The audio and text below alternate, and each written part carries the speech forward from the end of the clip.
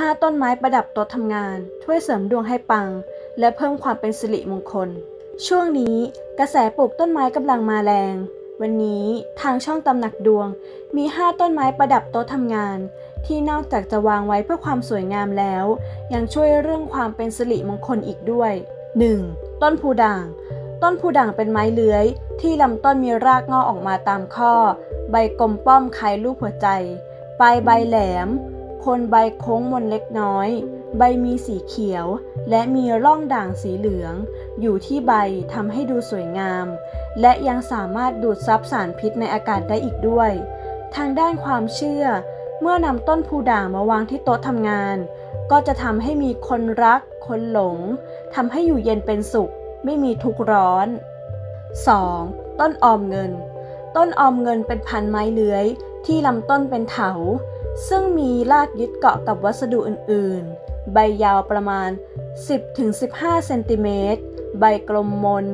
คนใบเว้าลึกทำให้เกิดหูใบทั้งสองข้าง ปลายใบเรียวแหลม จึงมีลักษณะคล้ายถุงเงิน ทางด้านความเชื่อ เมื่อวางไว้ที่โต๊ะทำงาน จะช่วยเรื่องการออมทรัพย์ เก็บเงิน เสริมโชคลาภในการลงทุนต่างๆ 3. ต้นไผ่กวนอิม ต้นไผ่กวนอิมเป็นไม้ประดับประเภทไม้พุ่ม แม้จะมีชื่อเหมือนไผ่ แต่อยู่คนละตระกูลกัน ผู้คนนิยมปลูกไผ่กวนอิมเป็นอย่างมาก ทางด้านความเชื่อ